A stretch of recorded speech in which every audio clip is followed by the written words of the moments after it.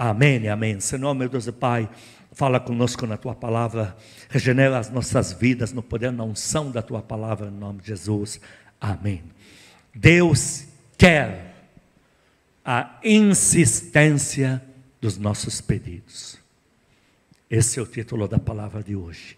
Alguns pensam que, será que Deus fica, Ele quer me torturar? É.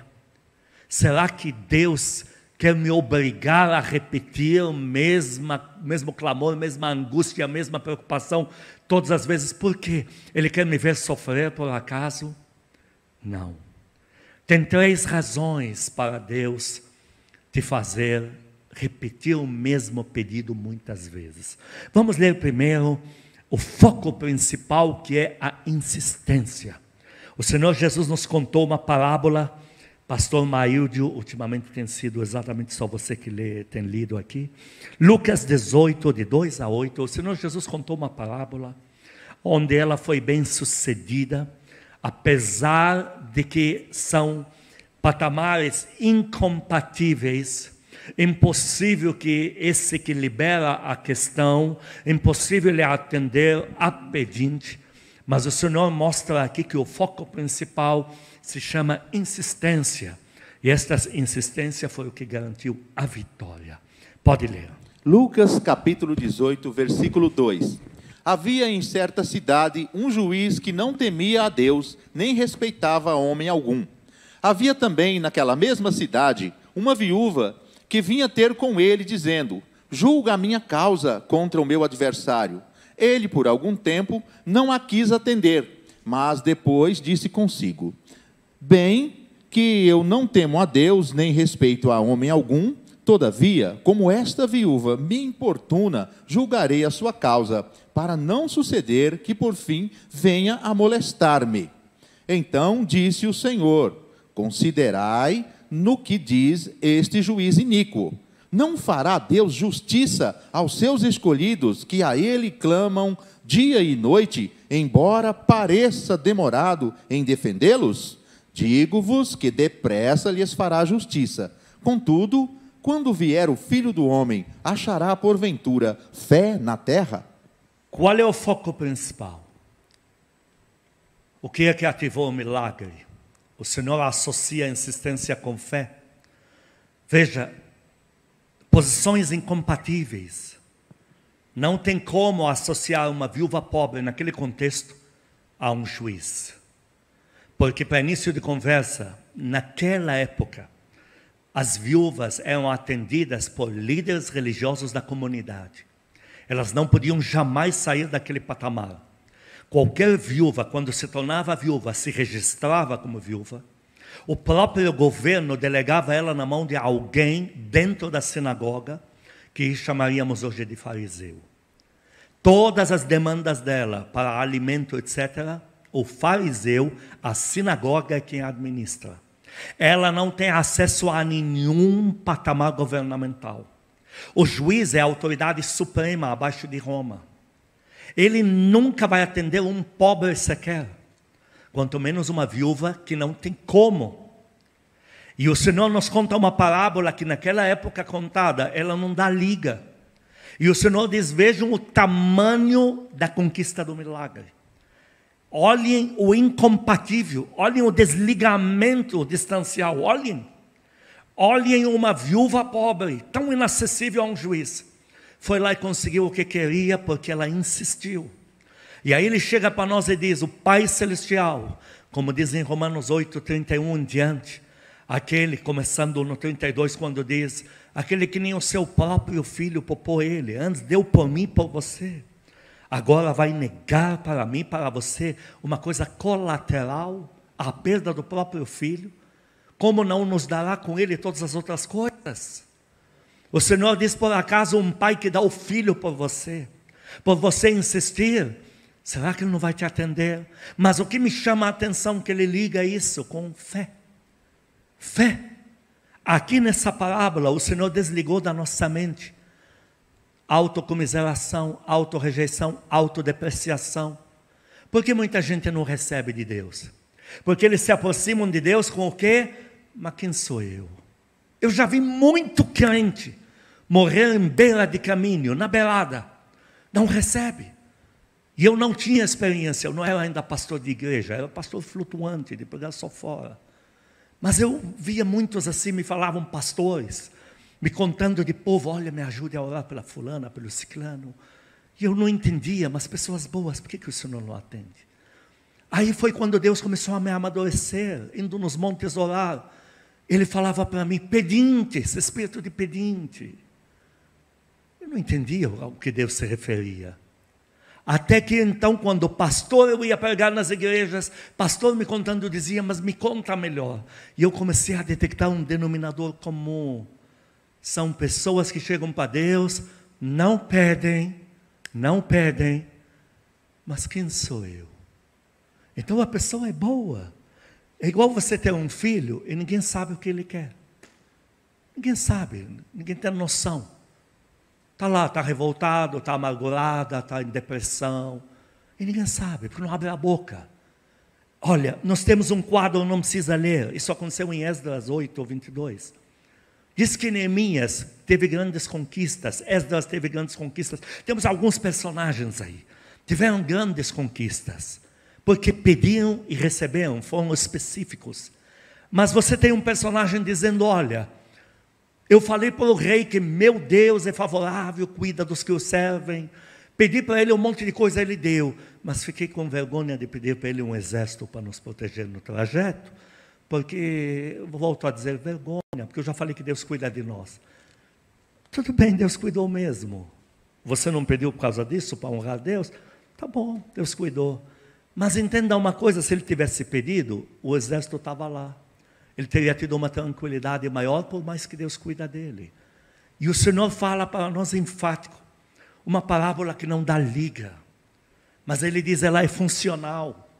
Porque você, ao entrar na presença de Deus, não tem direito de dizer que é a barata da igreja, quem sou eu. Você não tem desculpa para deixar de pedir, porque acha que está incomodando. Tem gente que acha que pediu para Deus algo a mais está dando prejuízo. Tem gente que tem aquela coisa de eu vou dar trabalho para os anjos, eu vou fazer os anjos agora ficar a, ah, a, ah, ah, fazendo full time, fazendo hora extra por mim. E a gente percebe que essas pessoas são enganadas na sua própria imaginação, por conversa de demônios, quando o reino de Deus é completamente ao contrário. O reino é ativo, os anjos só andam com pessoas que dão, no bom sentido, trabalho para eles. Anjo só anda perto de mim se ele vai fazer alguma coisa, entenda isso. O anjo que vai ficar ocioso, inútil e infrutífero, ele vai clamar ao arcanjo, arc, número um, ao anjo superior, por favor me remaneja. Eles fazem isso, acredite em mim, eu sei, eu já vi. Eles pedem remanejamento, eles precisam trabalhar. É alguém que está com energia, precisa gastar em algum lugar. Os anjos têm força de Deus nas costas para produzir, mas eles não podem trabalhar porque o povo não insiste. Pastor, você falou que tem três razões para Deus querer que eu insista quais são. Meu Deus, são simples, tão fáceis, tão triviais, tão, tão compatíveis. Número um, porque pedir muito? A matemática humana, ela fecha. O ser humano, tudo que recebe rápido, rápido menospreza. A palavra de Deus é muito clara. Bens ganhos às pressas diminuirão. Você vai dar muito valor para uma coisa que você ganha numa oração só? Não tem, tem tão pouca gente aqui, está todo mundo de acordo. Como pode? Eu faço uma oração só, eu ganho não sei o quê. Poxa, então isso aí foi só uma oração. Amanhã eu faço outra, eu ganho outra coisa. Então, na mente humana se tornam desprezíveis os milagres de Deus. Deus não pode se dar esse luxo. Porque tudo que Deus faz é algo que tem que ser eterno na tua vida. É algo oriundo do sobrenatural. Tudo que Deus planejou, orientou, fez uma logística de entrega para você, viabilizou, fez um sincronismo de fatos. Isso não vai poder se resumir numa oração tua, eu te garanto isso. Não pode. Puxa, para a pessoa ter um diploma qualquer, qualquer curso por aí é seis meses. Médico, não sei se é quatro ou seis anos. Então, mas chega para Deus, quer fazer uma oração só. Deus não me ama, não me quer, sabe? Eu clamei, aconteceu, desisti. E quanto tempo você orou? Um mês. Meu, mas quanto tempo você levou para pegar o diploma para engraxar, sei lá, sapato? Eu uma vez quis aprender, recém-chegado nesse país. Eu quis aprender mecânica, eu fui na escola. Aí eu não sabia. Eles falaram: olha, você se inscreve. Eu mal falava português ainda direito. E a gente vai ensinando, tá bom. Aí eu sentei na classe, o pastor falou, falou, no fim não disse nada, o que ele ensinou não lembro até agora. Aí eu perguntei da duração do curso, era de um a dois anos. Pensei, um a dois anos para eu aprender a mexer com mecânica. Poxa, não reclamei, mas fui me informar melhor. Eu descobri que a carga horária de um diploma para ser um bom mecânico era aquela mesma. Eu me mandei, nem eu me aguento um ano vou aguentar um professor no meu ouvido. Fui aprender sozinho, me enfiei debaixo de carro lá, me meti a sábio e aprendi. Mas veja, eu experimentei isso. Ninguém me contou. Um ano. Agora, quero abrir os céus, quero acessar o sobrenatural, quero chamar a existência o que só Deus pode entregar, quero viver o que é o eterno, porque a minha Bíblia diz que a porta que Deus abre, ela não fecha mais. Quero viver o eterno e cansou no mês, cansou no ano. Repito, você não tem bom futuro para o teu filho? Você planejou que ele estudasse quantos anos? E isso nos chama bater na porta? Toda vez que ele faz a prova, ele não está batendo na porta. Ele não está clamando por uma oportunidade. O que é a prova? É clamar por oportunidade. O que é o diploma? Uma oportunidade às portas. Agora, chega para o sobrenatural, num mês cansou. Três meses achou muito, seis meses, ah, isso já é demais. Ué, já é demais, mas você continua indo na escola a estudar, meu Deus do céu. O teu diploma humaninho não saiu, mas você já desistiu. Então, número um, porque Deus quer que eu insista, pastor. Para eu ser uma pessoa repetitiva, um papagaio, um cara que. Não. É porque o que se ganha fácil, Deus já conhece a mente humana. Não se dá valor.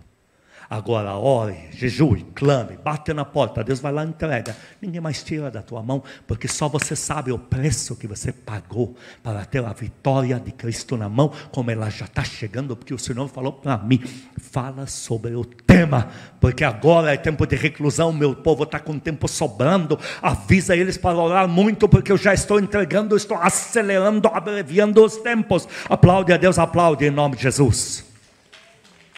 Segunda razão porque Deus quer que eu insista. Nós temos que entender o que diz lá em Salmo, desde que 115 até 116. Deus entregou a terra na mão dos filhos dos homens. Os céus são do Senhor. Então, o, o, o Senhor falou lá em Mateus 16: o que vocês ligarem na terra vai ser ligado. E o que desligarem nela, no céu nós vamos desligar. Há uma abóbada de resistência, está lá em Efésios 6 o apóstolo Paulo, movido pelo Espírito Santo, a partir do versículo 10, ele explica. Ele diz que tem uma abóbada de resistência. Céus que você não vê, chamados de segundo céus, eles são de bloqueio. É uma coisa fenomenal, uma coisa acirrada, uma briga dos quintos dos infernos. Você tem um Daniel lá em Daniel capítulo 10, desde o 9, ele já começa clamando. E ele não leva um dia, dois, ele leva 21. 21 dias por um problema que não é dele, poxa. E o arcanjo chega e diz: No dia que você começou a orar, a ordem foi liberada. Mas eu tive resistência numa esfera que você desconhece. E a briga foi feia. Ele fala para Daniel: Eu recebi reforço de outros anjos, de outro arcanjo. Quando você ora, você pega, está pegando um martelo na mão e você começa a bater numa barragem. Eu já vi a cena. Eu já vi muitas vezes gente orando e eu via eles e os anjos ao mesmo tempo, simultâneo, pegando marretas e batendo. Quando você começa a orar, é uma barragem impenetrável, é algo de concreto, de bloco, de, de pedra natural. E dá a impressão, por isso que, que os que começam a orar têm a impressão que nunca vai acontecer. Porque você tem a impressão de que isso é, é, não tem como romper. Impossível furar esse bloqueio. Os demônios são rançudos, são resistentes, os malditos. Eles não vão sair porque você pede licença. Eles têm que ser tirados à força e lançados no fundo do inferno, senão o caminho não é desimpedido, entenda isso. E aí você olha para uma coisa que você diz, meu Deus do céu, que coisa medonha é essa? Que esfera é essa? Como é que eu vou passar por isso aqui? Mas Deus diz, olhe. E aí você no início continua com a sensação de que teu oração não está chegando no teto. Ela está chegando, não é no teto, é no céu. Mas o teto que você está se referindo é uma barragem de, de aço. Mas veja, você continua orando e o martelo na tua mão começa a ganhar fogo celestial. E daqui a pouco as marretadas começam a causar rachaduras, aberturas no flanco do inimigo, desestruturar aquela esfera ali. Daqui a pouco parece vidro. Você bate assim, estoura inteiro, desaba, vai para o chão. Coisa impressionante. Vidro. Você pensa, ué, esta fase que se torna como vidro, transparente, é quando você já começa a sentir mais a presença de Deus tratando do mesmo tema. Você vai orar pelo mesmo assunto e já entende que não é repetição, entende que é furar bloqueio, que é guerra mesmo, que é investida contra o inimigo. E aí você começa a sentir mais a presença de Deus, você começa a se sentir mais forte no assunto, é porque o inimigo já está cedendo lugar. E às vezes o maldito dá evidências, por mais que ele faz de tudo. Um rato, eu já passei por esse fenômeno. Uma vez eu perturbei um líder meu, chamei ele até de covarde, porque eu, eu tinha a sensação que teve um rato indo atrás da geladeira. E o maldito, você cutuca, cutuca, cutuca, você bate a vara do lado, raspa no, no, no, no rato, o maldito, ele não sai. Te dá a segurança que não está acontecendo nada. Mas no meu caso, como estava desconfiado, eu sacudi a geladeira inteira, quase joguei ela fora. Aí ele correu. O quê? Eu corri da cozinha, tranquei, liguei para o líder meu. Se eu, não quero covarde, vai lá, mata ele. E um dos dois sai vivo, porque quando ele entrou, eu tranquei a porta. E eu mesmo, com a saída de casa, chamei a polícia. E eles não vêm, porque eles têm medo de rato também. Faz o teste. Meu, o inimigo é igual. Você dá a flechada ao maldito, ele já está ofegante. O fogo já está queimando ele, mas ele não dá o berro para você não imaginar que está acontecendo alguma coisa para você ceder, para você retroceder, para você se distrair, para você procurar outra coisa para fazer, para você mudar o foco e para você, no pior, duvidar de Deus, achar que Ele não está fazendo nada, que Ele não te ama, não te quer. Quando de repente há um estouro no céu e é cento por um quando Deus faz um milagre, oriundo de oração, para Deus te encorajar a empreitadas maiores, Ele sempre atende cento por um. Aplaude a Deus, por isso aplaude em nome de Jesus. Terceiro foco, porque Deus quer que eu repita a mesma oração. Para você se manter focada e focado. Simples assim. Como você pode ter alguém orientado, alguma que tem foco, prisma celestial.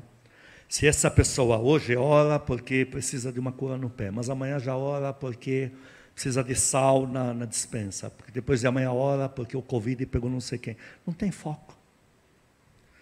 Agora, nesta vida, quando orientava, não estou orientando mais, quando orientava até sobre treinos, eu falava, preciso de você sete dias para isso. Você não pode se cuidar, você precisa de sete dias. Porque tudo que você faz sete vezes se torna padrão. Você sete vezes, sei lá o quê, tomou um café sem açúcar. Oitava já pegou, bateu, pegou. Tornou um hábito. Sete noites sem dormir, depois só com remédio para retomar. Por quê? Porque a natureza humana, o que ocupa a tua mente, o cérebro vai sonhar. Isso é fato. Você vai e pede. Daqui a pouco vai e pede de novo. Aquilo já está fazendo a tua cabeça. Como é que eu sei se a pessoa que está falando do tema comigo, ela orou? É quando você mais ou menos aborda o tema e ela é espontânea. Se eu pego um líder meu que chega para mim e diz, é avivamento, bateu, pegou, eu já sei, está orando, está orando muito. Está falando com Deus sobre avivamento. Olha para o lado esquerdo, porque na igreja à esquerda é onde sentam os líderes, os pastores primários. Eu já sei. Está orando muito no tema. Ah, pastor, É, cura já. Já sei, está orando muito por curas, milagres. Pegou, bateu, pegou. Já faz parte integral do teu próprio ser, da tua existência. Aquilo que falamos, a palavra é clara em Provérbios 18 em diante. O que sai da minha boca me dá vida ou morte. Depende. Se eu estou vivendo vida de oração, algo em mim está se inflamando. E eu estou começando a fazer parte integral de um projeto de Deus, de uma oração. E isso está me mantendo aceso e focado. Uma vez eu sentei com uma serva de Deus, uma princesa, pastora Neuza Tioca. E eu estava falando para ela de umas coisas que andamos orando. E eu falei rápido para ela assim, mas disparate. Uma lista de, de, de itens. Mas foi coisa de, para se dizer em 30 segundos, disse em 10. E aí disse para ela, e quando terminei de falar aquilo, eu pensei, eu já estou treinado. Já fez a minha cabeça. Porque de tanto que eu repeti isso, já está vivo em mim. E agora, para planar, expandir, 10 segundos, o que deveria ser em 30. Deus precisa te manter focado e focada. Agora, imagina se você ora sobre finanças e não para mais de orar enquanto Deus não fizer. Mas daqui a pouco entra um novo item. Curar pessoas, certas pessoas de Covid. Daqui a pouco entra um terceiro item. Quarto, quinto, sexto, sétimo, casamento, não sei o quê. Chega uma hora, a tua mente já está em oração. Um pastor, ele foi tomado pelo Espírito Santo lá na Espanha. Ele foi pego. A esposa falou para ele: Eu não sei mais se era melhor quando você era um muito tradicional, ou se você agora é avivado, porque não me deixa mais dormir.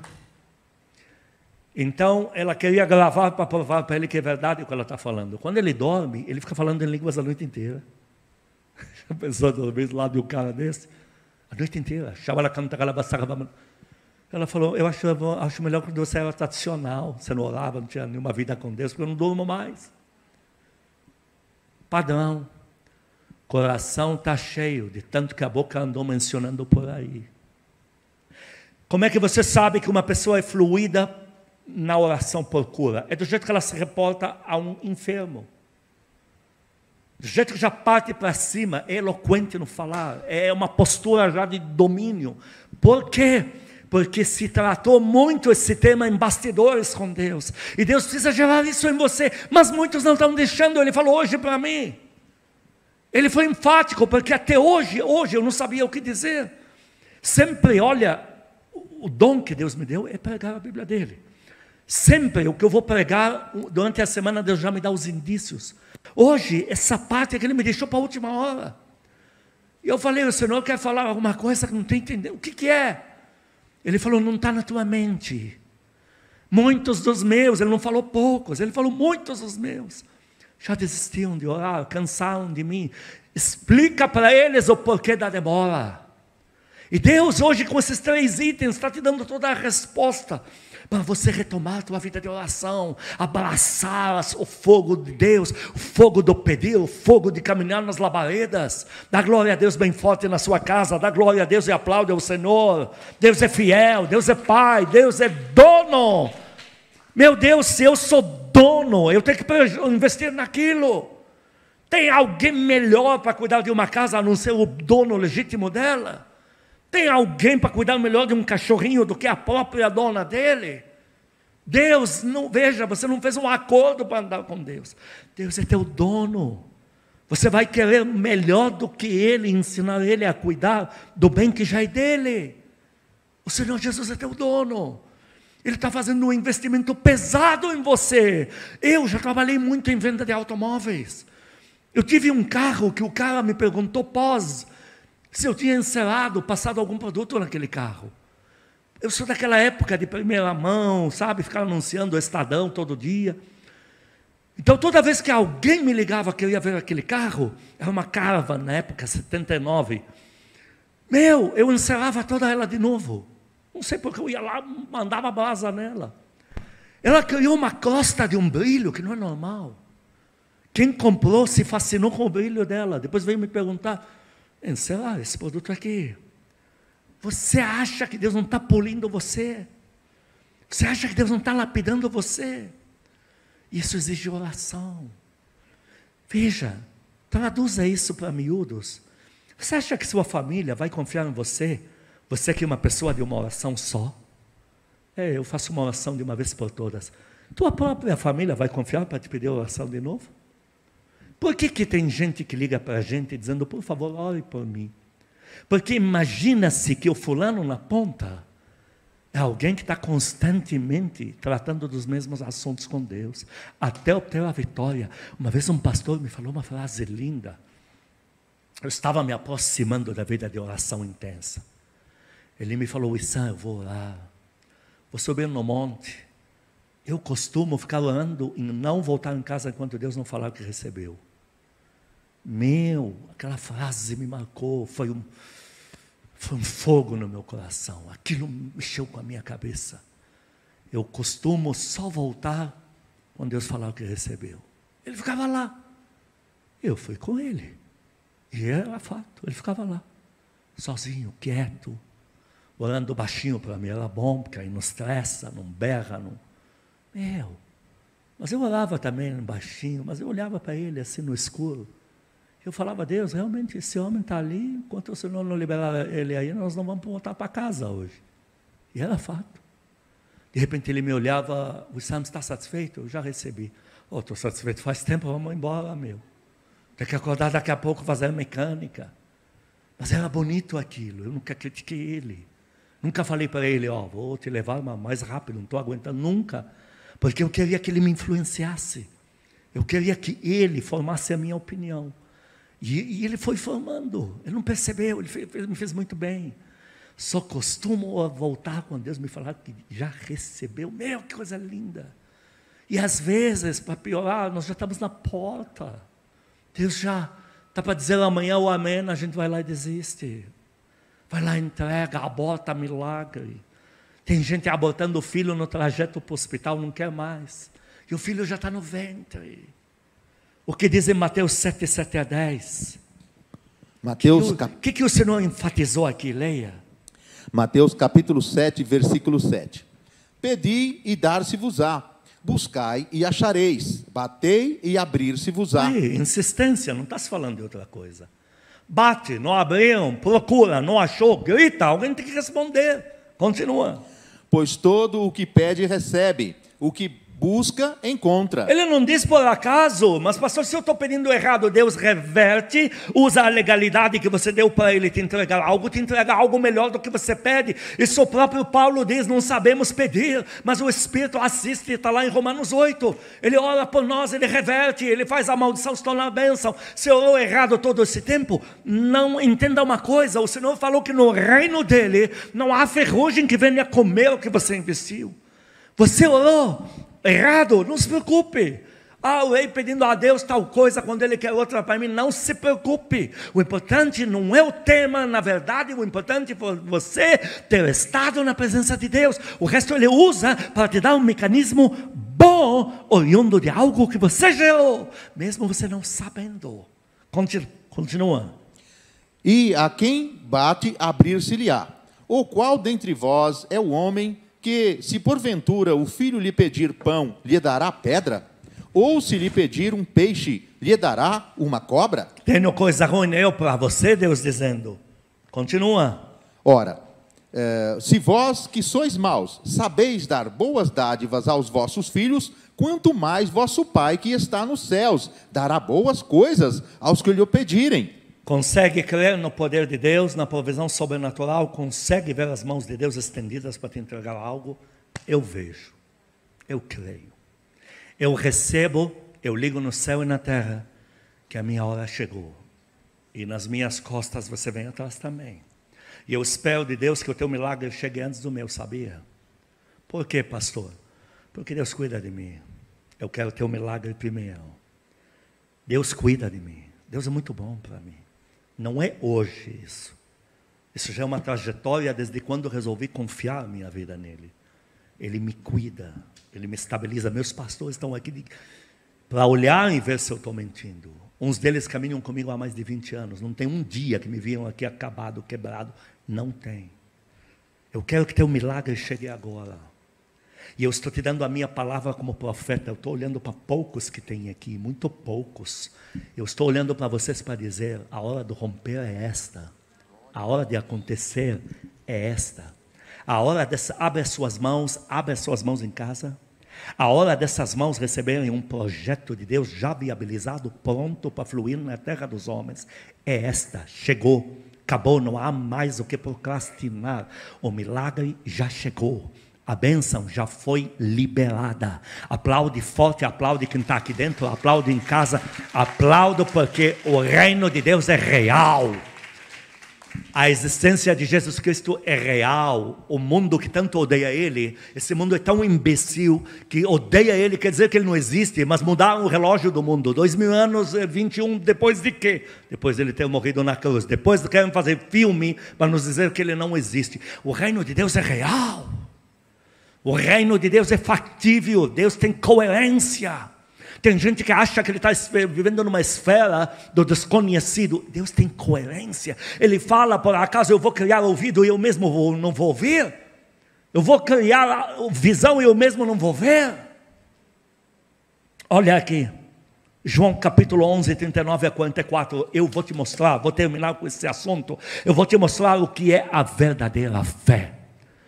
Porque fé não é inteligência. Porque nós não vamos ser Deus. Eu, eu não vou saber ser Deus para arquitetar um milagre, para ensinar Ele como fazer, para isso ser chamado fé. A fé ela é cega. É um Pedro que diz: O Senhor manda eu andar no ar no meio desse vento do inferno, manda eu. Ele não mediu consequências. É uma coisa cega. Depois que ele está no ar, que ele resolveu olhar o que não deveria olhar, a simplicidade dele, confiança em Deus, era tudo o que ele precisava. Ele resolveu, resolveu medir, calcular, olhando afundou. O Senhor falou: porque você duvidou? Se tornou incrédulo. A fé, ela não é. Tem que entender muito. A fé é o que nós vamos ver agora. O que é a verdadeira fé? Eu vou te mostrar à luz da Bíblia quem é que tem fé aqui. Leia isso. João capítulo 11, versículo 39. Então ordenou Jesus: Tirai a pedra. Disse-lhe Maria, irmã do morto: Senhor, já cheira mal, porque já é de quatro dias. Olha só. O Senhor duas vezes ficou perturbado em espírito, angustiado. Quando os três vezes, mas é quando os, os fariseus quase faziam ele errar. De tanto que tentavam ele, diz que ele se sentia angustiado em espírito se angustiou em espírito quando quase negou a vontade de Deus na vida dele. Ele teve que dizer: Senhor, seja feita a tua vontade e não a minha. Mas tem uma terceira. Eu não, tudo bem, nem estou com esse poder todo, mas eu não ressuscito o morto que seja crente e salvo. Eu não faço essa loucura, porque eu nunca morri, mas já tive para lá de Bagdá num acidente aí que Deus falou mesmo que eu precisava passar por aqui. E a pastora Denise me. Eu estava não sei aonde, eu não vou dizer que cheguei no céu, que os anjos não víamos a hora, não teve nada disso. Mas eu não sei, eu estive numa redoma, uma coisa linda. Eu acordo com ela dizendo morte e saía dele. Eu falei para ela, eu estava morto, você me ressuscitou. Fiquei três dias sem falar com essa mulher, lá no Líbano, isso. O Senhor não ressuscita pessoa que já está salva. Ele não quer, não é justo. E agora, ele não quer ressuscitar Lázaro, porque Lázaro vai ser antes do ladrão da cruz para inaugurar o paraíso. O Senhor vai morrer e o primeiro que ele vai encontrar na frente dele vai ser Lázaro. Mas as duas irmãs insistiam tanto, ele se perturbou em espírito, porque não era para fazer. Mas tudo bem. Então vamos fazer, porque enche o pulmão, diga, porque elas pediram muito. Diga isto porque elas insistiam muito. Enche o pulmão e diga isso. Elas insistiam muito. Porque ele tentou dialogar, mas ele vai ressuscitar no céu. Não, não, não, queremos ele aqui. Então, depois de tamanha insistência, mesmo perturbado no espírito, ele não quer fazer. Vamos fazer. Por quê? Vocês oraram o suficiente. A taça completou a medida. Vamos ressuscitar. A que obrigou o Senhor Jesus a ressuscitá-lo, a mesma inverteu e falou: mas é impossível. Ele está quatro dias morto. Então, se fé é muita sabedoria, esse milagre seria abortado. Ela aqui praticamente negou tudo que ela orou. Porque ela falou: o Senhor pode. Ele falou: mas ele vai ressuscitar no céu. Não, não, não. O Senhor tem poder para ressuscitá-lo e trazê-lo de volta em casa. Tá bom, vamos fazer. Não, não dá. Olha, ele está fedendo lá, a carne já está apodrecendo. Mas como a fé não é sabedoria, a fé não é tanto intelecto assim. Olha o que o Senhor responde para ela. Versículo 40. Respondeu-lhe Jesus: Não te disse eu que se creres verás a glória de Deus? Então ele não disse, sua incrédula, você acabou de abortar tudo, você estava falando palavras positivas, orações positivas, pensamento focado positivo, ele não falou isso. Ele falou: Você teve fé porque você orou até que eu faça o milagre. Agora você vai ver a glória de Deus. Aplaude a Deus por isso. Fé é insistir. Fé é bater na porta até lá abrir. Agora, o que se fala ali, olha, me poupa. Olha, posso falar algo? Não venha para a gente com matemática quântica, que não sei o que, nessa mente não está cabendo mais nada. Aqui nós somos simples. A gente faz as nossas orações, entrega nas costas de Deus. O Senhor já levou meu fardo, meu jugo, dá uma ajuda que não está fácil. Mais do que isso, não precisa. Mas uma coisa se chama fé e uma coisa se chama incredulidade. São duas balanças. Fé, continua orando. Incrédulo, não quero mais orar. Incrédula, não quero mais. Então o Senhor disse para ela: Você teve fé. E você tem fé, porque você me fez fazer este milagre. Como é que terminou isso? O Senhor gritou, Lázaro saiu, todos nós sabemos do resto. Põe a mão no teu coração, o Senhor vai curar algo em você nesta noite. Você vai experimentar a mão do Senhor. Deus vai entrar nas tuas emoções agora. Há algo que assusta você, que amedronta você. Há algo que faz você duvidar de todos porque judiaram de você, abusaram de você. E hoje você, não percebendo, talvez está conduzindo isso a Deus, transferindo para Deus. Ah, Deus deve estar de brincadeira comigo. E hoje você vai receber uma cura. Hoje você vai voltar a entender que Deus não é o marido que te traiu, o namorado que te abandonou, a namorada que não sei o que disse, o pai que fez não sei o que com você, a mãe, o irmão, a irmã. Deus não é isso. Deus é um Deus que está construindo algo lindo dentro de você. Põe a mão no teu coração, diga para Ele: Espírito Santo, diante da tua palavra, eu peço perdão. Se de alguma forma não tenho sido atento ou atenta ao tamanho do teu amor por mim, ao tamanho do teu poder. Eu peço perdão. Se abandonei o quarto da oração, se lancei mão de projetos já construídos pela oração peço perdão se tentei abortar milagres que o Senhor já ordenou na minha vida. Diga para Ele, sobretudo, eu peço perdão. Se larguei o Senhor, soltei a tua mão, mas eu estou de volta. A minha vida de oração está de volta.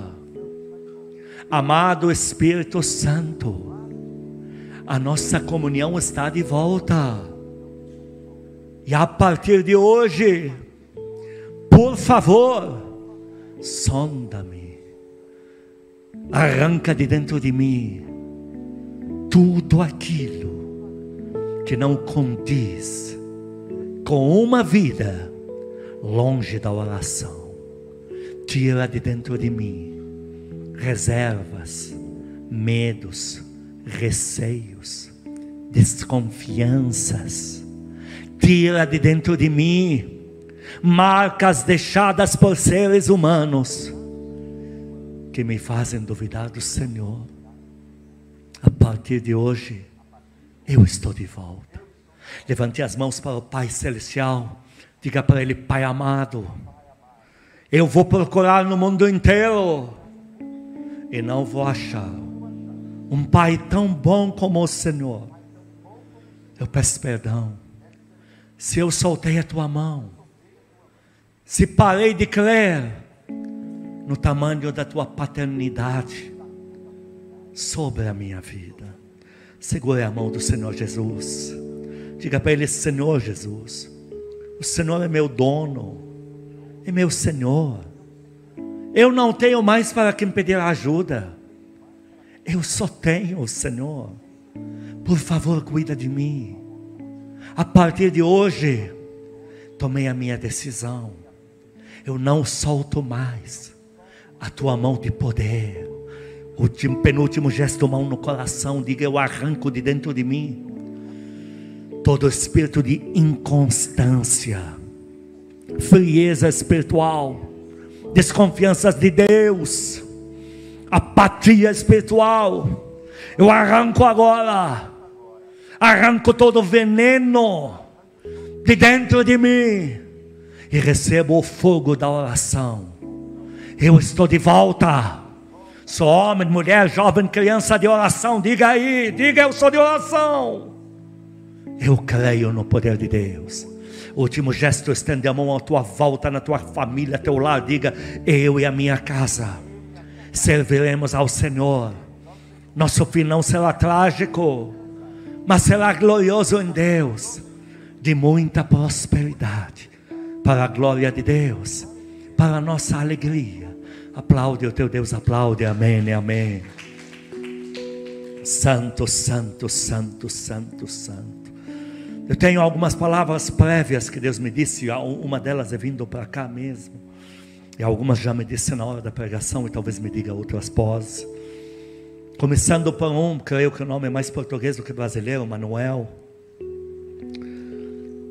E você falou com Deus, porque antigamente uma profetisa passou pela cidade, ela profetizou para você que você faria isto, mais aquilo, mais aquilo em toda a cidade, depois em todo o teu estado. E o que ela falou para você, você nunca viu um ser humano receber tamanhas promessas. E o Senhor se interessou muito em falar de você, Manuel, comigo, porque Ele me falou, Ele vai me salvar um estado. Diga para o Manuel, ele falou para mim, diga para o Manuel que a hora dele chegou, para ele retomar a sua vida de oração, porque dois anos e pouco você abandonou, você se distraiu, você não largou Deus e não caiu no pecadão, mas você esfriou muito, homem jovem homem, 35 anos mais ou menos. O Senhor fala para você retomar, porque o Estado está na tua mão. Vão ver dias, o teu nome vai correr no poder, nos anais do poder aí constituído. Você vai orar por tudo que é vereador, deputado, prefeito, governador. Teu nome vai correr na igreja de Cristo. Muitas igrejas no teu estado não vão querer fazer evento sem que você passe para inaugurar, nem que seja dando a bênção por tela. E esse tempo chegou. Na hora da maior crise, onde Deus mais vai te levantar. E o Senhor enfatizou que eu insistisse com tal de Manuel, porque ele disse que te poria diante das câmeras hoje. O Senhor falou comigo sobre uma jovem Vanessa muito preciosa. Você está grávida, teus pais não sabem, e você já pensou em tirar a própria vida. Você pediu ajuda, porque você mesma não sabe que rapaz foi o autor da, da, da. E você tentou pedir ajuda de aborto tal, e ninguém estendeu a mão. E você está confusa. E você, não sei, o senhor não me falou se você já comprou veneno ou você ia comprar veneno, mas que você já sabe aonde ir, qual avícola, não sei aonde você quer ir lá buscar. E o Senhor me falou, Vanessa, que você foi chamada para conhecer o céu. O Senhor falou que no Brasil nós vamos ouvir falar de você, porque você foi destinado a viajar em espírito com o amado Espírito Santo, ir no céu e ver coisas que não foram reveladas a nenhum ser humano até o dia de hoje. E para você nos trazer tudo o que viu, e Deus vai te dar o dom, o dom de transferir desenho, e vai te dar uma desenhista das melhores que temos, o do Brasil ou de fora que vai andar com você, tudo que você contar que viu, esta desenhista vai colocar para nós na íntegra. E vai, e você, você não tem noção, os livros, a riqueza dos livros e a riqueza dos congressos que você vai fazer para Deus, Vanessa. Esta criança que está no teu ventre, você já falou que ia chamar se fosse menino, se nasce, rindo com você mesma, nessa confusão toda, falou que vai chamar Ernesto. Ernesto é nome de espírito de bebida. Todo Ernesto teve problema com bebida, filha. Não chama essa porcaria, chama Davi. Não que Ernesto é uma porcaria, mas não vai me invocar um espírito de bebida na criança, porque é menino sim. Chama ele de Davi, pega um nome bíblico tão bonito.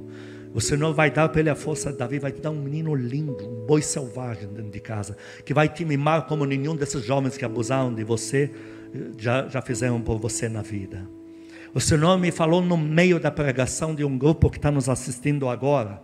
E esse grupo é conectado com o México. Vocês vieram aqui por vias de obras sociais. A causa principal era gerar recursos. Não sei se é via Banco Mundial, de lá para cá, de cá para lá. E aqui vocês se perderam, a coisa virou uma confusão. Mas vocês são todos os senhores. Quando saíam para lá e de lá para cá, houve palavras de Deus sobre vocês dizendo que Deus estava no projeto. O Senhor disse que Ele sempre esteve no projeto. O projeto é gigante, vai andar por toda a América Latina. As proporções vão ser de proporções gigantescas, maior do que vocês planejaram mas não no molde que vocês fizeram, porque vocês iam se perder todos, iam se vender para a riqueza. Alguns já iam estar desviados antes do dinheiro ser liberado, vocês iam se perder. Então o Senhor, no meio da pregação, quando ele falou sobre alguns que oram e tal, e sobre a sabedoria, como você tem muita sabedoria, não, alguns andavam orando é, para lá de sabedoria já gerada por demônios. Então o Senhor, na hora, me deu essa visão, eu entendi. E a esse grupo que está nos assistindo agora, o Senhor fala para vocês retomarem o projeto, voltar a orar, voltar a contactar o México, porque tudo que vocês querem, tem pastores lá esperando vocês, eles também já desanimaram. Tudo que vocês querem no Senhor procede de Deus e vai se cumprir, e o momento é agora. Esse Covid que se vê aí, porque o que mais atrapalha é o projeto, Deus vai dissipar da noite para o dia. Já tem empresa, Deus já nos falou nesse púlpito. Tem empresa já com só falta duas assinaturas, um carimbo nas duas e já se libera o remédio que bloqueia a Covid no corpo inteiro. Pode aguardar que já está chegando. Creiam no Senhor, retomem a sua oração de início, sabe?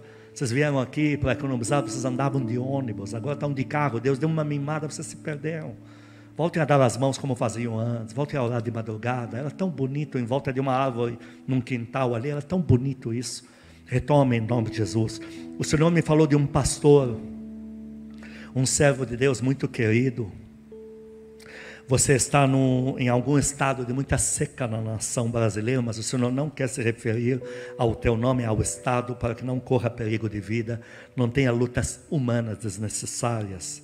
Mas na tua briga, na, na tua região, a briga ainda é muito pelo bigode e facão, ainda tem muito isso. E a polícia faz vista grossa porque eles mesmos fazem também. As rixas são resolvidas no facão.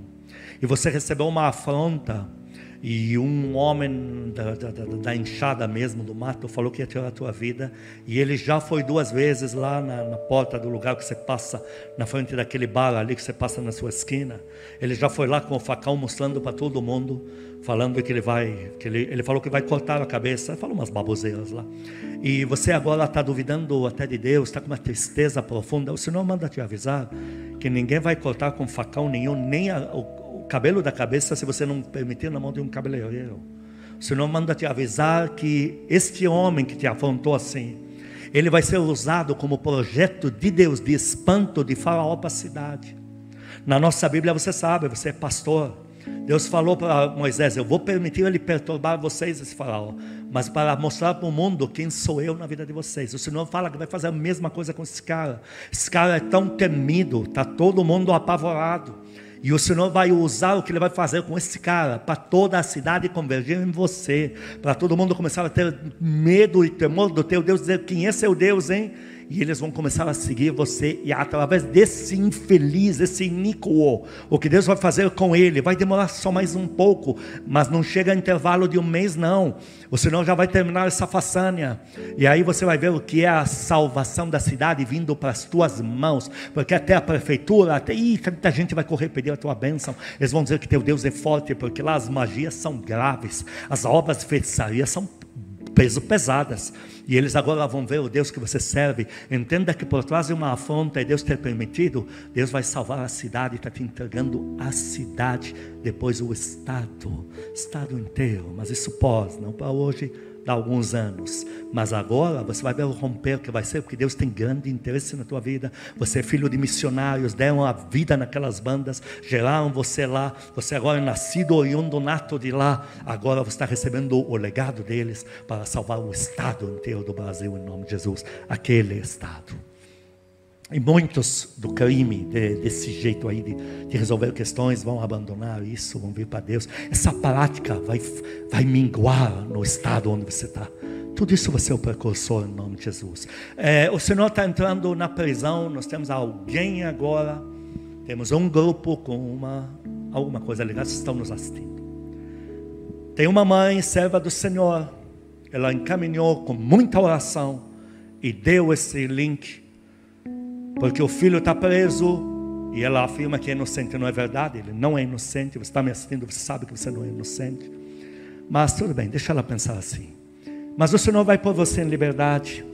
E todo esse grupo que está me assistindo agora, vocês vão se tornar pastores. Todos. Todos. Eu estou vendo oito pessoas. Quinze ficam aí. Oito deles estão aí agora me assistindo. desses quinze que ficam naquele quarto ali, naquele lugar, os oito que estão me assistindo, vocês são desviados de Deus é amor, Assembleia de Deus, de Batista, de tudo.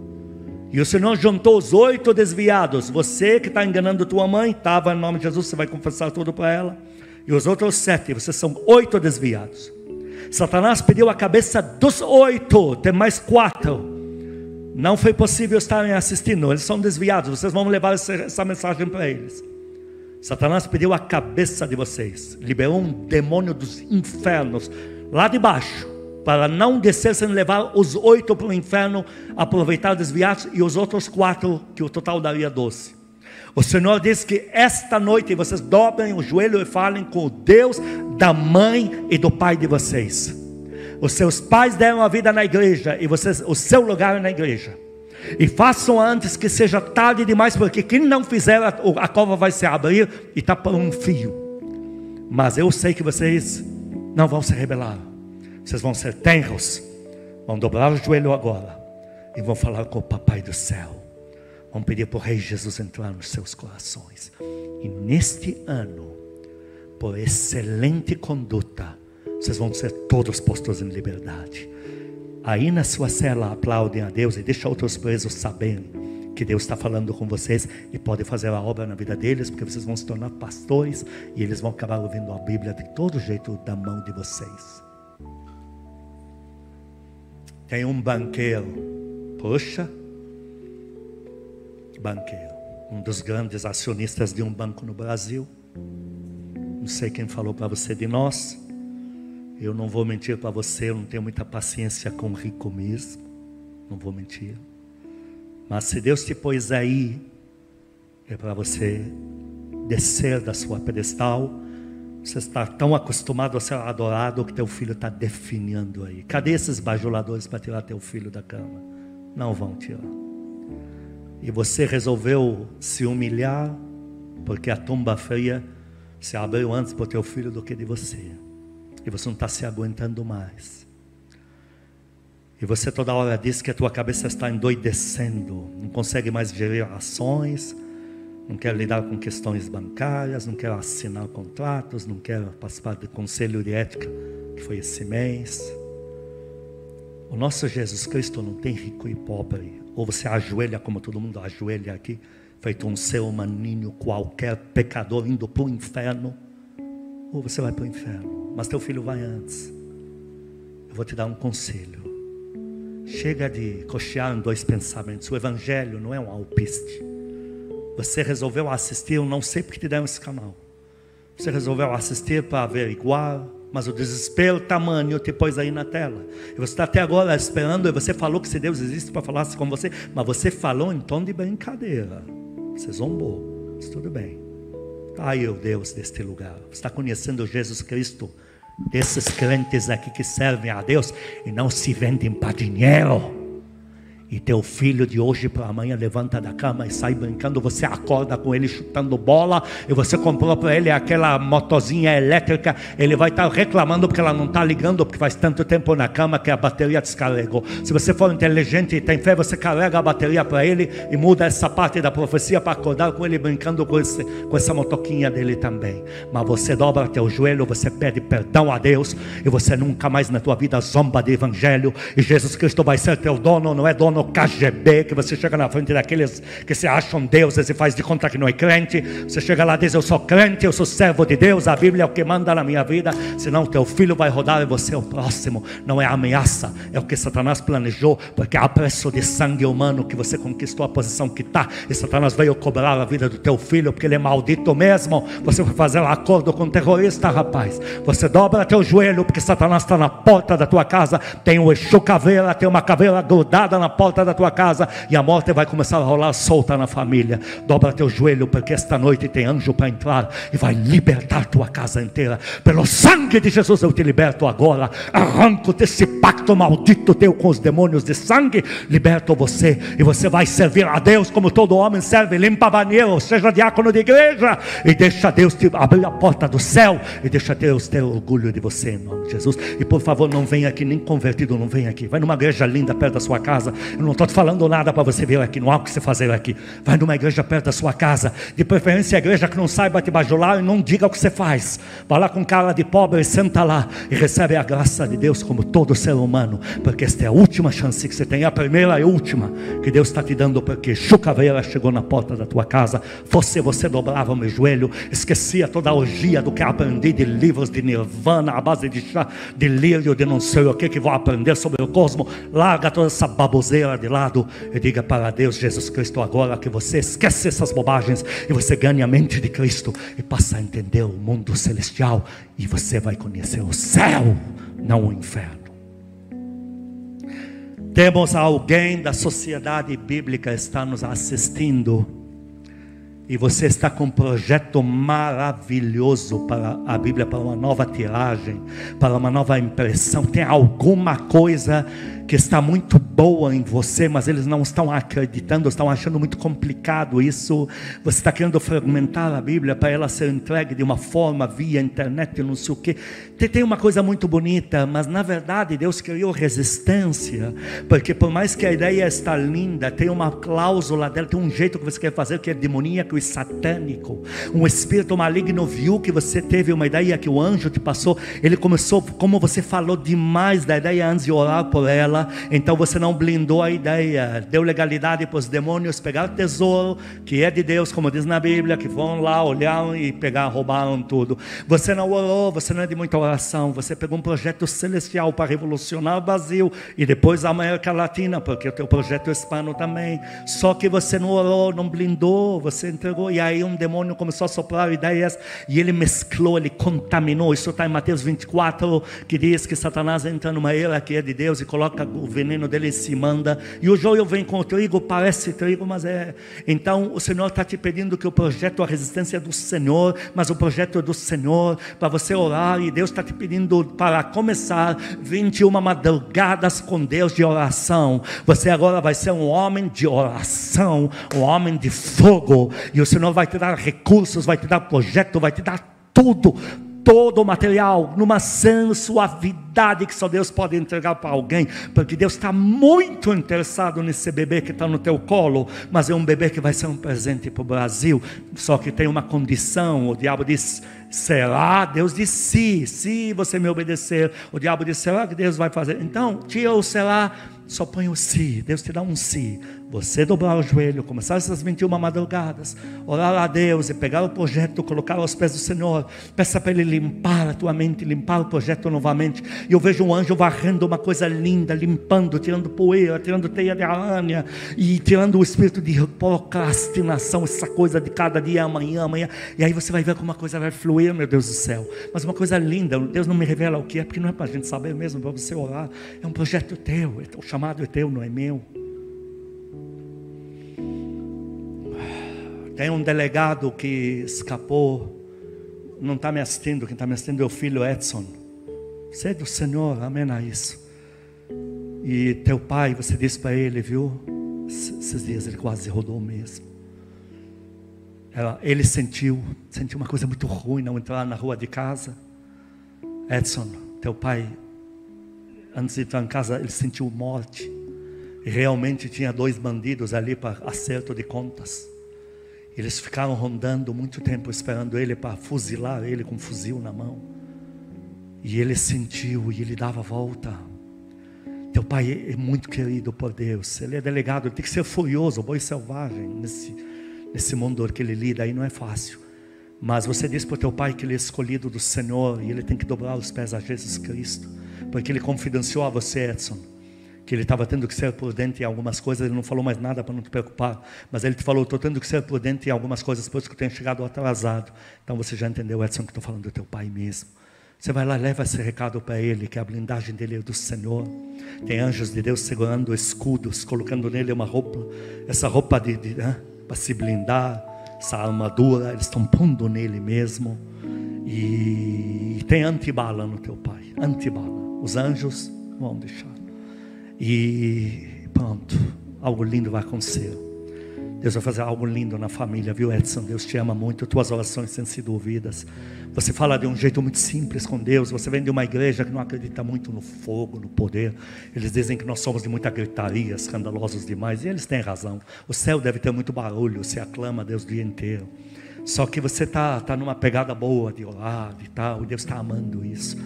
Continua nesse trajeto. Ah, a palavra de Deus foi para a tua vida hoje. Você vai ver como Deus vai te levantar com muito poder, tua igreja vai ser avivada. Tem um homem, tudo bem, a esposa, mas mais o homem, você fez um gesto lindo. Você nunca vendeu nada, eu acho. Mas uma coisa eu sei que Deus está mostrando clara. Você vendeu um bem, eu acho que uma casa, não sei. E você não deu o dízimo, você dividiu no meio, você rachou em dois. Você falou, não, são duas partes, uma de Deus, uma minha. E essa parte que você deu para a igreja, Deus amou tanto, Deus se agradou tanto do que você fez. Porque você nunca teve um, um volto financeiro desse em mãos. E você foi lá fez algo tão lindo. Você fez exatamente o que Abraão quando tentou imolar Isaac para Deus. O Senhor mandou te avisar porque eu tinha me esquecido, ele me lembrou agora. É você ou que Deus mostrou chegando, eu ando de moto aí, eu estava estacionando aqui e Deus me falou de você e eu esqueci. Ele acabou de me lembrar aqui, está completando a visão. E essa de você rachar em dois assim, para Deus, diz que subiu com um cheiro tão suave aos narinas dele. Aquela igreja vai se levantar, aquela igreja vai ficar linda como você quis. Eles vão usar bem o dinheiro, não se preocupe, Deus vai dar sabedoria. Eles são sinceros. Mas Deus falou que, entre aspas, como nós temos na Bíblia, aquela frase: jurei por mim mesmo. O Senhor fez uma promessa a Ele mesmo, Ele colocou diante dele no moral dele, Ele tem um placar diante dele, chamado em, em Malaquias 3 de memorial. Ele colocou teu nome no memorial. E coisas vão ser entregues agora. E você tem que ir para o ramo de tratores Rápido, rápido, aproveite a crise. Tem gente quebrando, gente fechando. É a hora que você vai se levantar e logo vai vir uma demanda gigante e as tuas portas vão estar abertas. Use a outra parte do dinheiro para correr atrás do. Eu não vou dar a marca, eu já ouvi a marca, não vou dar, porque eu não posso manipular e tem coisas que não podem ser ditas publicamente. Mas Deus vai pôr na tua frente a marca de tratores que tem que trabalhar, e nem tudo tem que ser chinês, não, Senhor. Estamos falando de algo Suécia, etc., Europa. Você coloca o olhar, vai orando e Deus vai despontar na tua frente. Você vai fazer uma aliança com eles, aliança que a gente fala financeira. E eles vão, Deus vai pôr tanta graça diante deles que eles vão dizer: nosso estoque está lotado e não tem como desovar. Se você apenas pagar o frete navio até o teu país, todo o resto entregamos ao vender. Olha, vai, você, vai, você vai encontrar uma oportunidade que não existe na terra ela é tua. E você vai se tornar um homem poderoso nesta nação. Porque lá na frente você vai seguir o ramo de guindastes. E tudo que é gigantesco, industrial, para lá de. Vai estar tudo vindo para a tua mão. Tudo isso porque você pegou o, o, o facão assim para dividir Isaac. Você já pensou? Parabéns pela tua atitude, porque Deus falaria com você publicamente, para dar exemplo para todo mundo que nos vê e nos ouve posteriormente para te dizer: faça a obra, cuide da minha obra, dizime, oferte, seja generoso, generosa, porque eu cuido dos que me servem e recompenso muito bem os meus, como diz Marcos capítulo 4. Deus dá 30, 60, cento por um. Deus não fica devendo nada para ninguém. Tem uma serva de Deus que você está agora mesmo no teu quarto, magra, magra, magra. Você fechou a porta da tua casa, roubaram até o teu auxílio de não sei o que do governo, alguém falsificou e roubou. E você falou para Deus que você ia entrar em um jejum forçado. Você está assistindo pela internet e teu celular é bem antigo.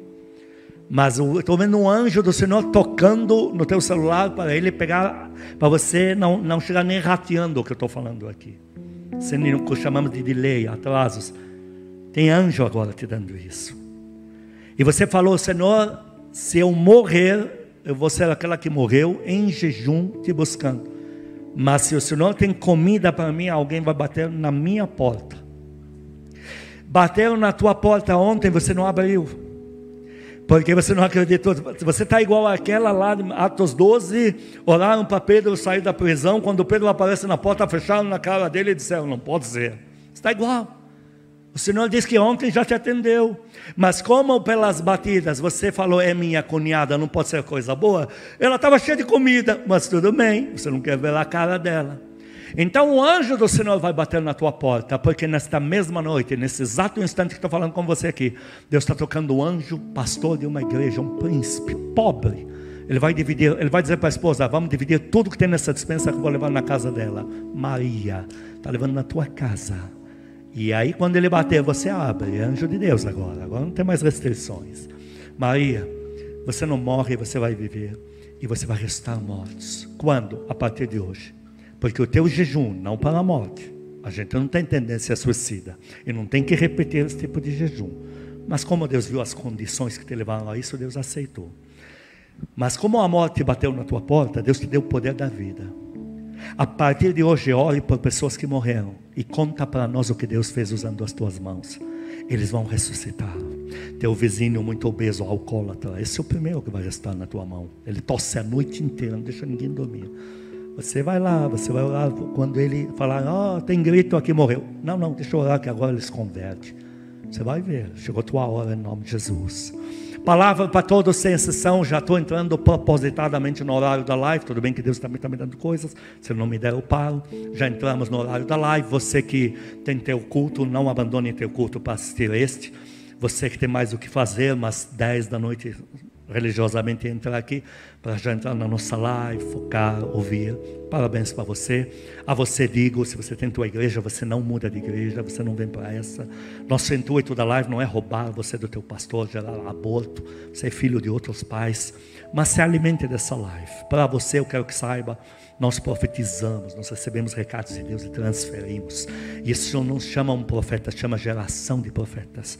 Você pode ser o próximo. Deus vai levantar pessoas na tua vida e amanhã vai levantar você. Deus está dando uma palavra generalizada e é a última. O Senhor está me dizendo sobre equilíbrio. Algo que ele falou, parece que uns 15 dias atrás, se não me engano. O Senhor fala que tem uma balança de equilíbrio financeiro nos lares que muitos não têm feito uso ainda.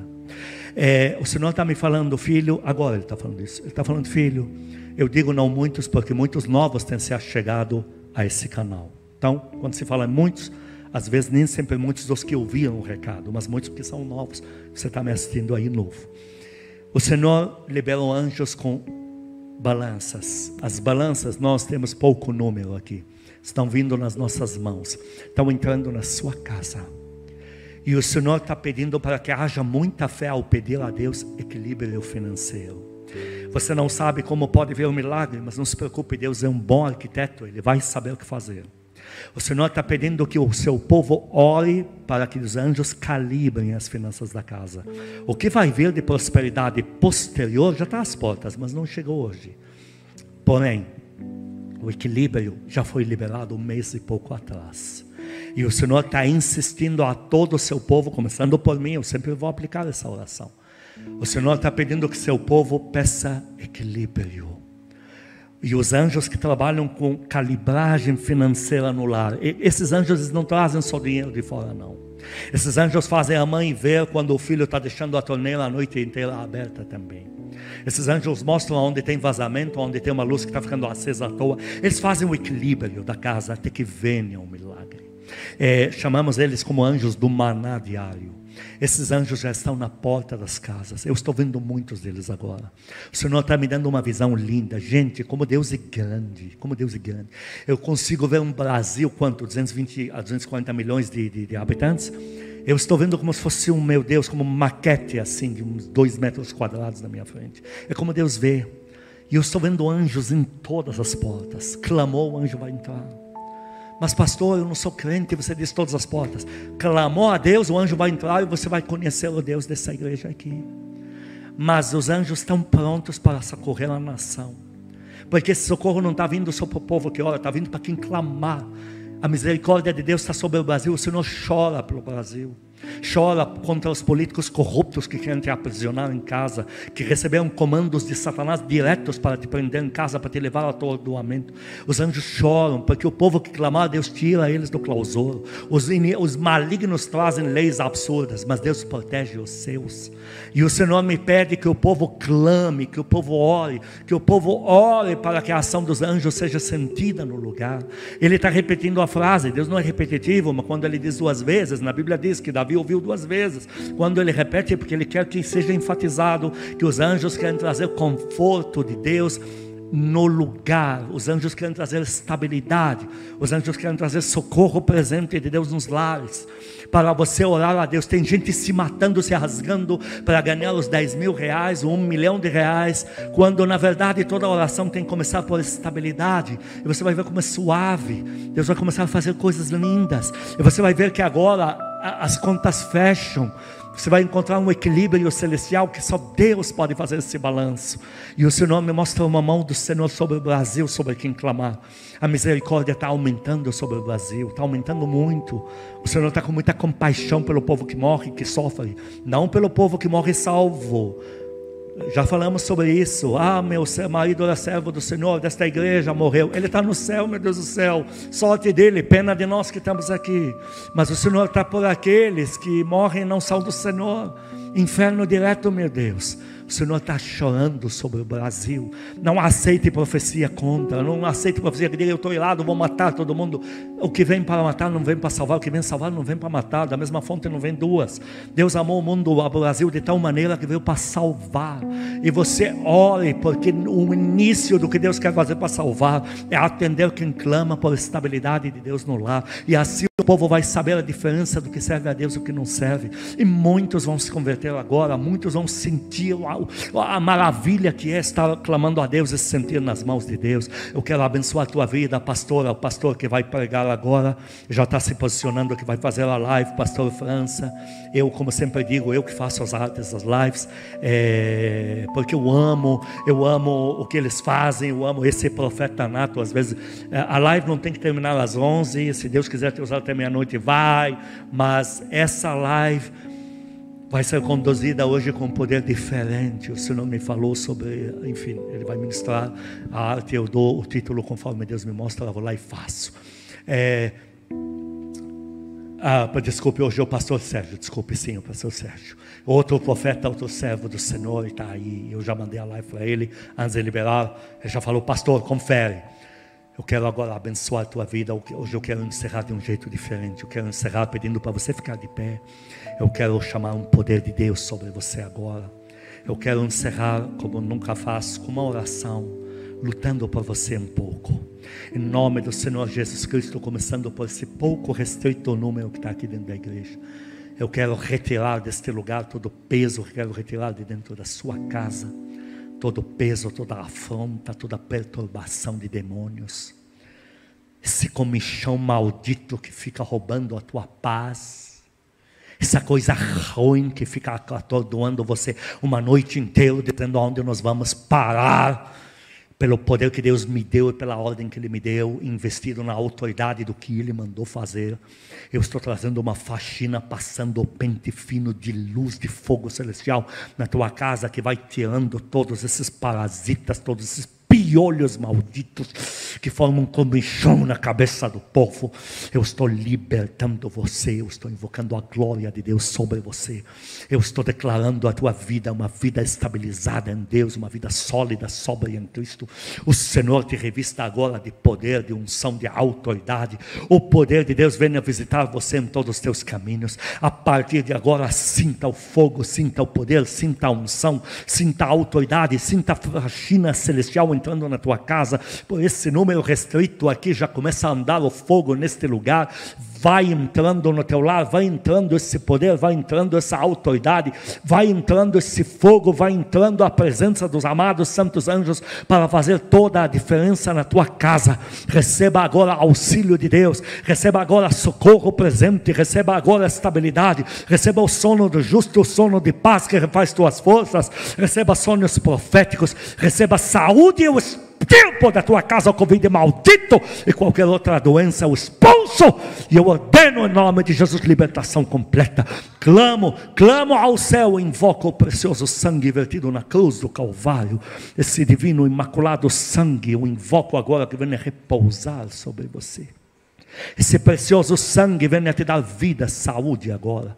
Venha refazer teus órgãos, esse sangue venha libertar você do pecado, da ociosidade, dessa coisa de, ah, ninguém está vendo, deixa eu me perder aqui.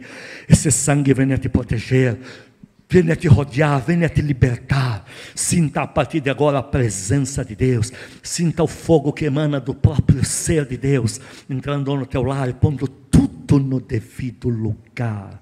Receba reforço celestial e o Rei da Glória, Jesus Cristo, seja entronizado na tua casa, como Senhor absoluto dessa moradia sua aí. Seu lar seja submetido ao reino e ao poder de Deus. Eu te abençoo em nome de Jesus, que o amor de Deus Pai as santas consolações, Espírito Santo, a graça eterna do nosso Senhor Jesus Cristo sejam com os amados e com todo o povo que ama a Cristo na terra de hoje para todos sempre. Amém e amém. Estamos liberados em nome de Jesus. Você já está na tua casa mesmo. Continua conectado na live. Pastor Sérgio já está em posição de sentido aqui de tropa. E agora é contigo, pastor. Vamos para a live.